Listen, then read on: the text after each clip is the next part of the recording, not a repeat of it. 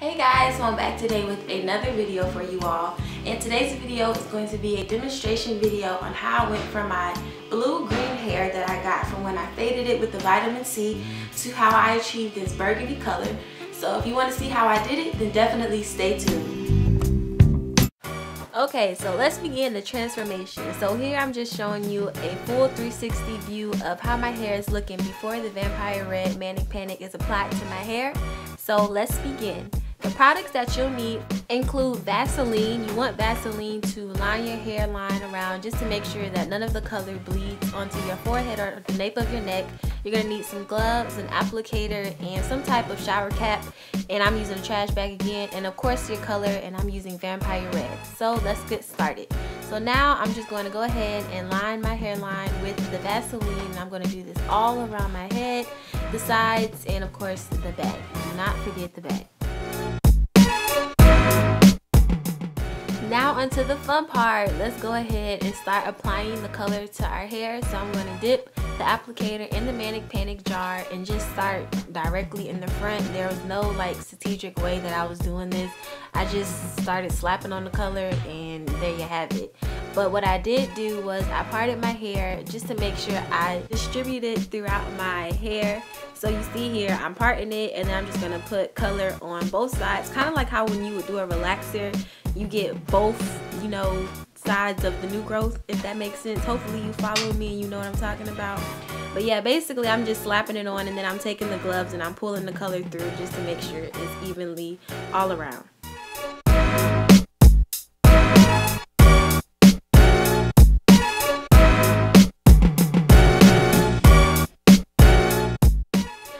Going to continue on doing the same process and I'll be back in five minutes to show you where I've gotten.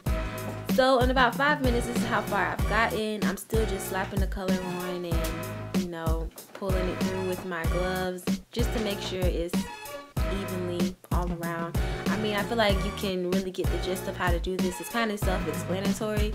Just be careful with like getting it on your skin because it does stain.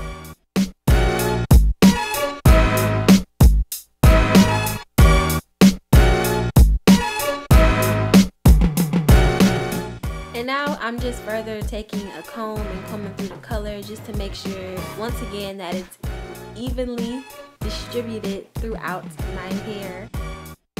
Now on to the back. yes, I did have to pull out the mirror to do this, otherwise I would have screwed my hair up. So I did the same process of parting it and then um, making sure I got the color on both sides. And once I finished applying the color, I combed it through like I did on the front part of my hair. And then I just twisted it up in little balls so it would be prepped for it to go into the trash bag, aka my shower cap. And I just wrapped it around and tied it in a knot. And then I also added on an actual shower cap just to trap some heat because I don't have a dryer. So I rinsed it out with cold water and this is what it looks like. Um, I thought it would be a lot brighter, but this is actually like a burgundy red, but I think it's really pretty still.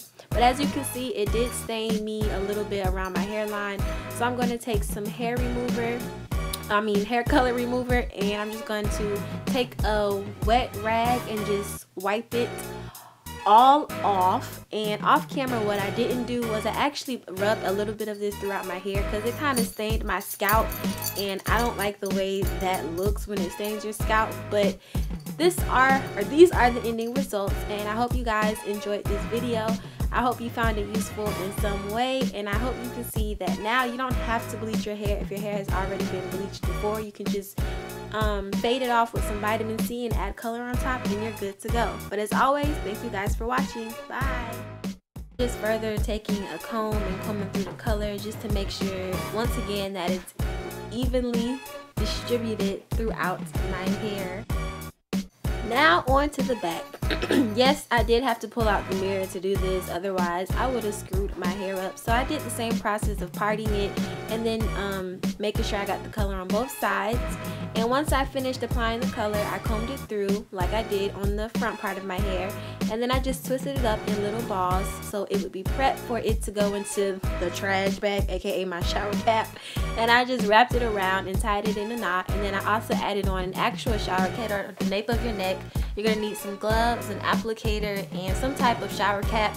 And I'm using a trash bag again, and of course your color, and I'm using Vampire Red. So let's get started. So now I'm just going to go ahead and line my hairline with the Vaseline. I'm going to do this all around my head, the sides, and of course the back. Do not forget the back. Now onto the fun part. Let's go ahead and start applying the color to our hair. So I'm going to dip the applicator in the Manic Panic jar and just start directly in the front. There was no like strategic way that I was doing this. I just started slapping on the color and there you have it. But what I did do was I parted my hair just to make sure I distributed throughout my hair. So you see here, I'm parting it and then I'm just gonna put color on both sides. Kind of like how when you would do a relaxer, you get both, you know, sides of the new growth, if that makes sense. Hopefully you follow me and you know what I'm talking about. But yeah, basically I'm just slapping it on and then I'm taking the gloves and I'm pulling the color through just to make sure it's evenly all around.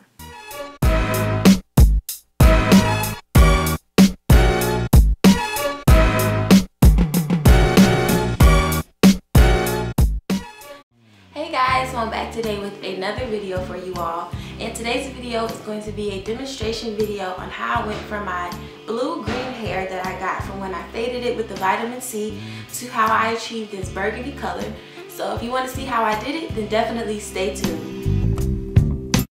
Okay, so let's begin the transformation. So here I'm just showing you a full 360 view of how my hair is looking before the Vampire Red Manic Panic is applied to my hair. So let's begin. The products that you'll need include Vaseline. You want Vaseline to line your hairline around just to make sure that none of the color bleeds onto your forehead. So I'm going to continue on doing the same process and I'll be back in 5 minutes to show you where I've gotten. So in about 5 minutes, this is how far I've gotten. I'm still just slapping the color on and, you know, pulling it through with my gloves just to make sure it's evenly all around. I mean, I feel like you can really get the gist of how to do this. It's kind of self-explanatory. Just be careful with like getting it on your skin because it does stain.